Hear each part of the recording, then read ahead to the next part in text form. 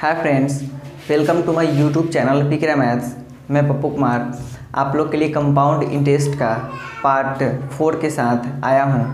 जैसा कि आप लोग पता है, हम लोग लॉकडाउन की स्थिति में घर पे हैं तो हमारा ये पेशकश है कि आप घर पे बैठकर ही तैयारी करें, क्योंकि एग्ज़ाम जो है, उसके बाद जब एग्ज़ाम का हम लोग एग्ज़ाम देने जाएँगे तो फिर हमारे प्रिपरेशन में किसी तरह का कमी न रह जाए, इसके लिए हम ऑफलाइन के अलावा ऑनलाइन भी जो मेरा वीडियो आता है तो चूँकि अभी जो है ऑफलाइन का क्लास बंद हो रखा है तो इसलिए हम जो है ऑनलाइन लगातार आपको वीडियो प्रोवाइड कर रहे हैं। तो जैसा कि हम कंपाउंड इंटरेस्ट का पार्ट फोर लेकर आए हैं, वो कोई अन्य क्वेश्चन नहीं होगा, जो पार्ट फ़र्स्ट में जो हम क्वेश्चन बताए थे, उसी तरीके का क्वेश्चन है। लेकिन चूँकि कंपाउंड इंटरेस्ट का जो क्वेश्चन है, वो बनाने का बहुत सारा मेथड है तो चूँकि कुछ ऑफलाइन बैच जो हम पढ़ाते हैं तो उसमें बहुत सारा तरीका बताते हैं। पाँच छः टाइप बताते हैं है ना? कंपाउंड इंटरेस्ट को करने का। तो लेकिन यहाँ जो ऑफ़ ऑनलाइन है उसमें हम जब अगर एक ही क्वेश्चन को पाँच छः तरीके से बताएँगे तो एक ही क्वेश्चन में जो है ना टाइम पूरा लैप्स हो जाएगा। इसलिए हम एक ही तरीके से बताए थे। लेकिन आ, कुछ हमारे जो ऑफलाइन बैच के स्टूडेंट्स हैं उन्होंने हमें कॉल किया कि सर जो एक और मेथड हमने बताया था आपको है ना? जिसे हमने उस वो लोग को बताया था।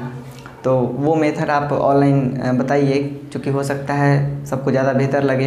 क्योंकि मेथड ये बहुत ही अच्छा है और बहुत ही सिंपल है। तो इसलिए हम उस सारे क्वेश्चन को फिर से हम दूसरे मेथड यानी कि जो एक और मेथड है सिंपलेस्ट मेथड वो हम डिस्कस करेंगे। उम्मीद करते हैं ये जो मेथड हम बताने वाले हैं वो शायद आपको अ, ना मिला होगा इससे पहले ना ही यूट्यूब पे और ना ही ऑफलाइन बैच में।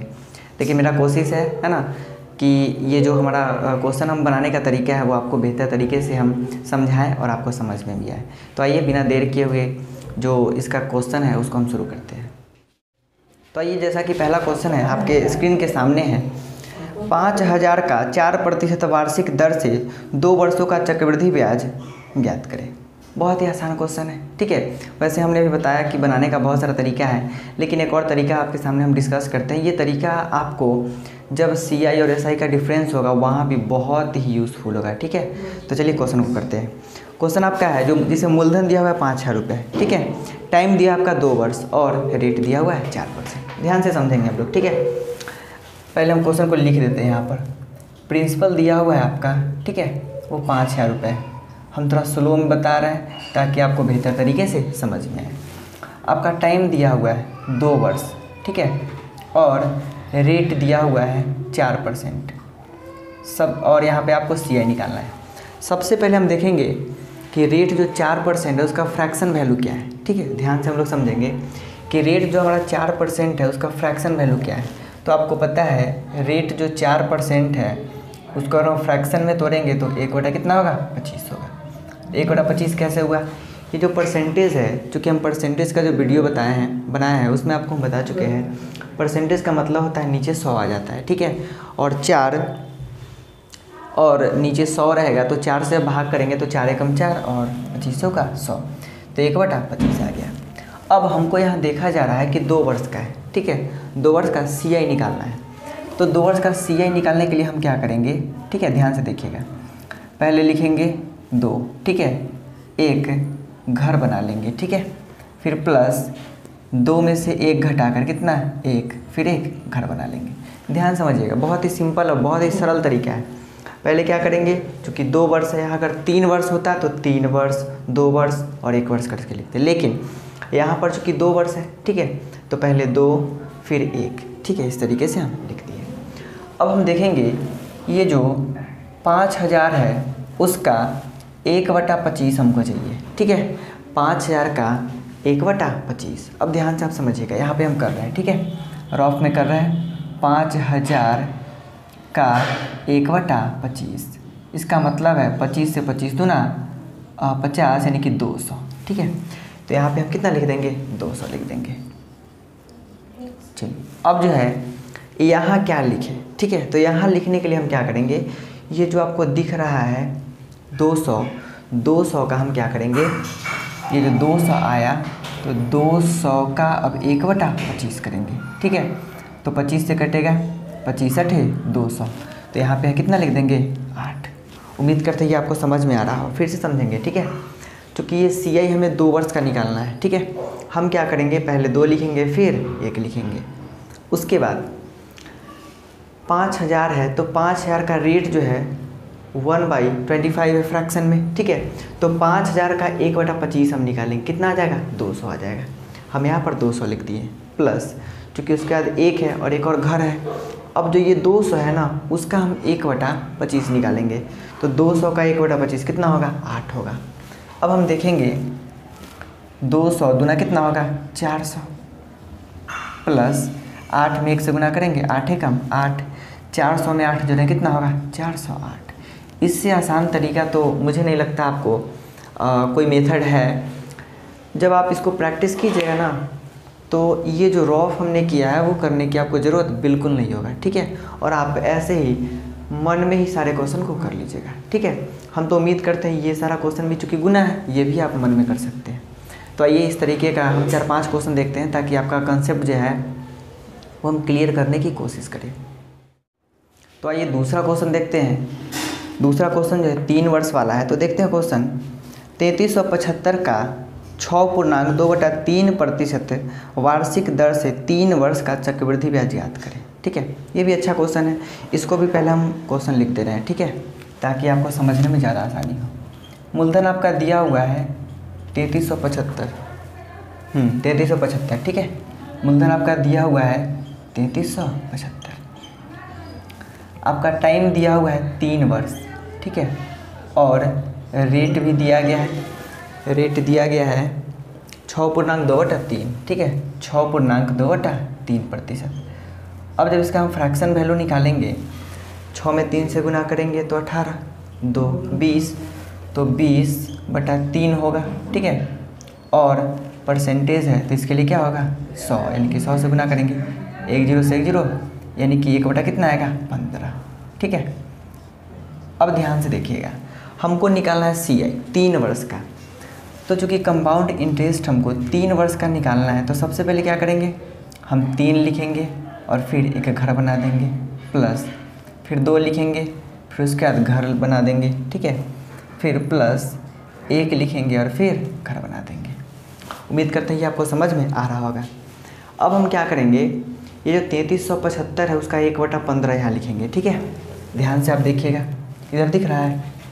इधर दिख रहा है ना हाँ। चलिए। तैंतीस सौ पचहत्तर का एक बटा पंद्रह ठीक है? जब निकालेंगे तो आपको पता है पंद्रह दुना तीस ठीक है? पंद्रह दुना तीस होगा फिर तीन बचेगा। ऊपर से सात उतरेगा फिर पंद्रह दुना तीस और पंद्रह बचे पचहत्तर। तो दो सौ पच्चीस आ गया। हम यहाँ पे कितना लिखेंगे? दो सौ पच्चीस। अब जो है, दो सौ पच्चीस का फिर एक बटा पंद्रह निकालना है। आप अच्छी तरीके से समझ रहे होंगे, दो सौ पच्चीस का एक बटा पंद्रह तो क्या होगा? पंद्रह से पंद्रह एकम पंद्रह, ठीक है? पंद्रह एकम पंद्रह होगा और पंद्रह दिया पंद्रह बचे पचहत्तर ठीक है? तो कितना आ गया यहाँ पर? पंद्रह आ गया। अब हमको क्या करना है? यहाँ पर थोड़ा सा एक चीज़ समझने वाली बात है। यहाँ हम क्या करेंगे? चूँकि ये पंद्रह है ना तो पंद्रह का पंद्रह का एक बटा पंद्रह निकाल कर तो कितना होगा? एक होगा। और इसी में ऐड करके यहाँ लिखना है, फिर समझेंगे। पंद्रह का एक बटा पंद्रह निकालेंगे तो एक होगा। और एक को इसी पंद्रह में जोड़ देंगे तो कितना होगा? सोलह होगा। ठीक है, आपको यही चीज़ समझना है। अब यहाँ पे हम गुना कर लेंगे। पाँच तीन पंद्रह के पाँच, हासिल एक, है ना? तीन दुना छः और एक सात, तीन दुना छः, ठीक है? प्लस पंद्रह दुना तीस और प्लस सोलह है कम सोलह। चलिए सबको जोड़ देना है। पाँच और छः ग्यारह के एक, है ना? हासिल एक, तीन और एक चार और एक पाँच पाँच और सात बारह के दो, ठीक है? हासिल एक, छः और एक सात। और आपका आंसर कितना आ गया? सात सौ इक्कीस। चूँकि समझाने के लिए हम इसको कैलकुलेटिव कर रहे हैं, नहीं तो ये बहुत ही आसान मेथड है किसी भी तरीके का कंपाउंड इंटरेस्ट को बनाने का। आइए अगला क्वेश्चन डिस्कस करते हैं। क्वेश्चन नंबर तीन, जो कि आपके स्क्रीन के सामने है। 2000 का 10 प्रतिशत वार्षिक दर से दो पूर्णांक एक बटा दो वर्ष का चक्रवृद्धि ब्याज ज्ञात कीजिए। देखिए यहाँ पे, जब हमारा टाइम जो है पूर्णांक में दिया होता है तो हम लोग थोड़ा सा घबरा जाते हैं कि ये कैसे बनेगा, लेकिन ये मेथड उसके लिए भी अप्लाई होगा, ठीक है? चलिए तो हम फिर से क्वेश्चन लिख लेते हैं। आपका मूलधन दिया हुआ है दो हज़ार रुपये। मूलधन दिया हुआ है दो हज़ार रुपये। बिल्कुल इतमान से समझेंगे क्वेश्चन को, ठीक है? और बहुत ही खूबसूरत सा मेथड है। अभी तक आप हमारे चैनल को अगर सब्सक्राइब नहीं किए होंगे तो सब्सक्राइब भी कर लेंगे और अपने दोस्तों के साथ भी शेयर कर लेंगे। चलिए टाइम दिया आपका ढाई वर्ष, ठीक है? टाइम दिया हुआ है ढाई वर्ष। और रेट दिया हुआ है आपका दस परसेंट, ठीक है? चलिए तो आपको पता है दस परसेंट का फ्रैक्शन वैल्यू कितना होगा? एक बटा दस होगा। अब हम देखेंगे, चूँकि हमको सी आई निकालना है ढाई वर्ष का ढाई वर्ष का निकालना तो सबसे पहले क्या लिखेंगे? ढाई लिखेंगे। क्योंकि यह तीन वर्ष का होता था तो तीन लिखते थे। दो वर्ष का होता था तो दो लिखते थे। अब यह ढाई वर्ष का है तो ढाई लिखेंगे। ठीक है? फिर एक घर बना लेंगे। अब एक कम तो एक कम करेंगे तो ढाई से एक कम करेंगे तो डेढ़ होगा। यानी कि एक पूर्णांक एक बटा दो। ठीक है? फिर और फिर एक कम करेंगे ना तो ये एक बटा दो आएगा। कोई दिक्कत नहीं है। ठीक है? अब हम देखेंगे यहाँ पर चूँकि एक बटा दस है, ठीक है? अब यहाँ पे हम कैलकुलेशन नहीं करेंगे। जो रॉफ करते थे वो नहीं करेंगे। अब आपको समझना है। जब एक बटा दस निकालेंगे तो एक ज़ीरो से एक ज़ीरो कट जाएगा। तो कितना आएगा? दो सौ। ठीक है? फिर अब यहाँ पर हम एक बटा दस करेंगे। ध्यान से देखिएगा। अगर एक बटा दस करेंगे तो एक ज़ीरो से ज़ीरो कट जाएगा। कितना आएगा? बीस। ठीक है? लेकिन हम अगला के लिए क्या बताए थे? अगला के लिए ये बताए हैं कि एक बटा दस करने के बाद इसी में जोड़ कर यहाँ हम लिखेंगे। ठीक है? तो एक बटा दस जब इसका करेंगे तो ज़ीरो से ज़ीरो कटेगा, दो बचेगा। लेकिन यहाँ जो लिखेंगे, इस बीस में दो जोड़ के लिखेंगे तो बीस में दो जोड़ कितना होगा? बाईस होगा। बस क्वेश्चन खत्म। अब पता है जब पूर्णांक इसका तोड़ेंगे, दो दुना चार है, पाँच बटा में दो और गुने कितना होगा? दो सौ। प्लस दो एकम दो और एक तीन बटा में दो गुने बीस और प्लस एक बटा दो गुने बाईस। चलिए, अब देख रहे होंगे, ये सौ से कटेगा, ठीक है? दो बार में सौ से कटेगा और पाँच से गुना होगा तो पाँच सौ। प्लस ये भी दो से कटेगा दस दस गुना बीस कटेगा ना, और फिर दस को तीन से गुना करेंगे दस दिए तीस। प्लस ये ग्यारह दुना बाईस कटेगा नहीं कि ग्यारह। अब आप देख रहे हैं पाँच सौ और तीस, पाँच सौ तीस और ग्यारह कितना होगा? पाँच सौ इकतालीस। तो उम्मीद करते हैं ये भी क्वेश्चन आपको अच्छी तरीके से समझ में आया होगा, ठीक है? तो ये एक और खूबसूरत सा क्वेश्चन डिस्कस करते हैं। बहुत ही खूबसूरत सा ये तरीका है आपके लिए, आपके एग्ज़ाम के लिए, किसी भी क्वेश्चन को बहुत ही कम समय में करने का। ठीक है? तो क्वेश्चन है अगला। सोलह हज़ार का पाँच प्रतिशत वार्षिक दर से एक वर्ष का चक्रवृद्धि ब्याज याद कीजिए, जबकि ब्याज छमाही दे हो। यहाँ पे छमाही रहे, तिमाही रहे, कोई दिक्कत नहीं है। ये नियम जो है सबके लिए लागू तो क्वेश्चन जो है आपका दिया हुआ है जिसमें मूलधन सोलह हज़ार है ठीक है? क्वेश्चन को ध्यान से देखेंगे। मूलधन आपका दिया हुआ है सोलह हज़ार ठीक है? मूलधन सोलह हज़ार दिया हुआ है। आ, अब आपको पता है चूँकि छमाही ब्याज जो है छमाही दे है। अगर ब्याज अगर छमाही दे है तो आपको पता है एक साल में कितने छमाही होते हैं? दो। तो यहाँ पर टाइम जो हम कंसीडर करेंगे कितना करेंगे? दो ठीक है? टाइम को हम एज्यूम कर लेंगे, ये दो वर्ष है। बात समझ रहा है? लेकिन रेट जो होता है ना, आप समझ रहे होंगे, यहाँ पे रेट दिया हुआ है पाँच प्रतिशत, ठीक है?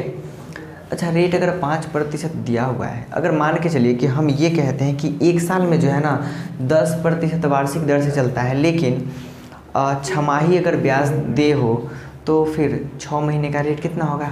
तो आपको पता है, अगर एक साल का रेट अगर दस परसेंट है तो छः महीना कितना होगा? पाँच परसेंट।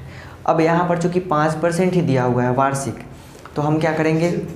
आपको पता है, जब एक साल में पाँच प्रतिशत मिलता है तो छः महीने में ढाई प्रतिशत। और ढाई प्रतिशत का मतलब क्या है? रेट यहाँ पे निकालते हैं हम। ढाई का मतलब है पाँच बटा दो, ठीक है? पाँच बटा दो प्रतिशत, ठीक है? और यहाँ पे जब जब इस, जैसे इसको हम चेंज करेंगे तो क्या होगा? पाँच बटा दो, और परसेंटेज के लिए दो सौ, ठीक है? अब जैसे इसको काटेंगे ना तो ये हो जाएगा पाँच चौका बीस, यानी कि एक बटा चालीस। तो एक बटा चालीस आ गया। अब हमसे पूछा जा रहा है, इसका ब्याज क्या होगा? बहुत ही आसान है। बहुत ही आसान क्वेश्चन है।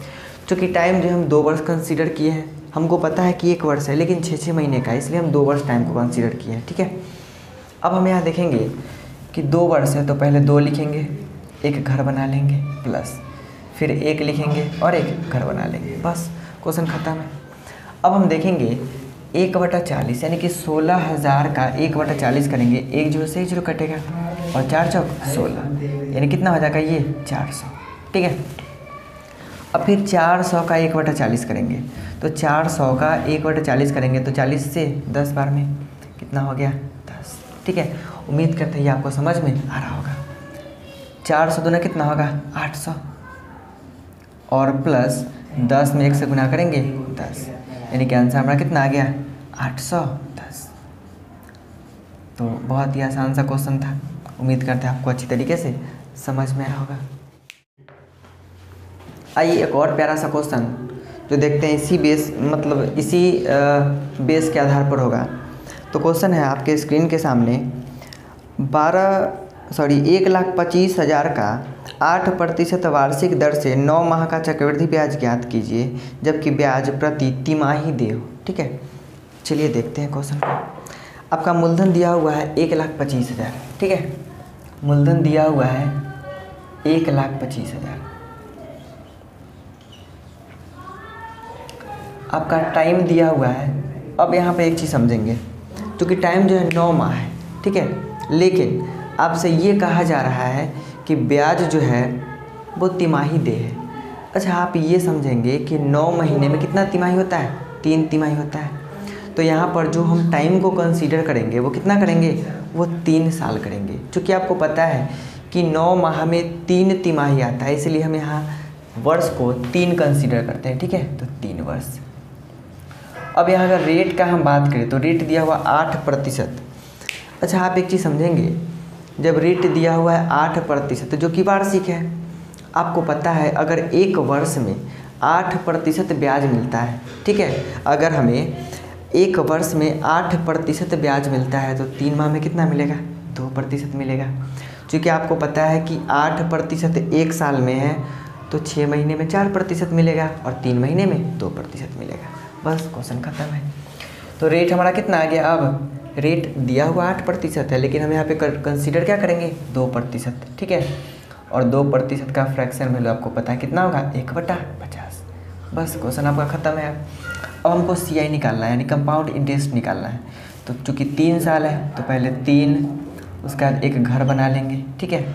रहने के लिए नहीं क्वेश्चन बनाने के लिए, ठीक है? फिर दो लिखेंगे, और फिर एक घटा के एक लिखेंगे। चलिए, बहुत ही खूबसूरत सा क्वेश्चन है। अब हम क्या करेंगे? एक लाख पच्चीस हज़ार का एक बटा पचास चाहिए हमको, ठीक है? एक ज़ीरो से एक ज़ीरो कट गया तो दो ज़ीरो बचा। और जब एक सौ पच्चीस में पाँच से भाग देंगे, कितना होगा? पच्चीस होगा। और पच्चीस के बाद दो ज़ीरो, ठीक है? ध्यान समझेंगे फिर से हम। एक सौ, एक लाख पच्चीस हज़ार है, ठीक है? इसका हम एक बटा पचास निकालेंगे तो एक ज़ीरो से एक ज़ीरो कट गया। अब एक सौ पच्चीस में पाँच से भाग दें, कितना होगा? पच्चीस होगा। अब हमको इसका एक बटा पचास निकालना है। तो ज़ीरो से ज़ीरो फिर से कटेगा तो दो सौ पचास बचेगा। दो सौ पचास में जैसे ही हम पाँच से भाग देंगे ना तो ये पचास आ गया। ठीक है? अब इसके लिए क्या करना है? ये पचास का एक बटा पचास तो निकालना ही है। साथ के साथ इसी में जोड़ के यहाँ पे लिख देना है। ठीक है? तो पचास का एक बटा पचास कितना होगा? एक होगा।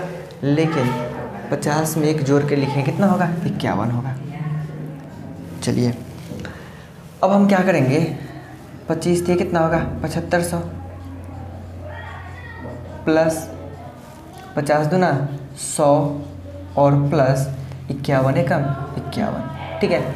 अब जैसे इसको हम ऐड करेंगे तो पचहत्तर सौ और एक सौ, छिहत्तर सौ, इक्यावन। यानी कि हमारा आंसर कितना आ गया? छिहत्तर सौ, इक्यावन। तो उम्मीद करते हैं ये पूरे टॉपिक में चूँकि हम पाँच वीडियो आप लोग को बताए हैं सॉरी पूरे टॉपिक में पाँच क्वेश्चन आपको हम बताए हैं। तो उम्मीद करते हैं ये सारा क्वेश्चन जो आपको अच्छा लगा होगा और कुछ नया सीखने को मिला होगा। कुछ नया बताने के मकसद से ये वीडियो हम बना रहे नहीं तो ये क्वेश्चन सब हम पहले भी ऑलरेडी बता चुके हैं। तो अगर अभी तक हमारे चैनल को सब्सक्राइब आपने नहीं किया है तो हमारे चैनल को सब्सक्राइब ज़रूर कर लें और साथ में बेल आइकन को भी प्रेस कर लें, ठीक है? तो मिलते हैं फिर अगले टॉपिक के साथ। तब तक के लिए अपना ख्याल रखें और घर पे ही रहें, घर से बाहर ना जाएँ।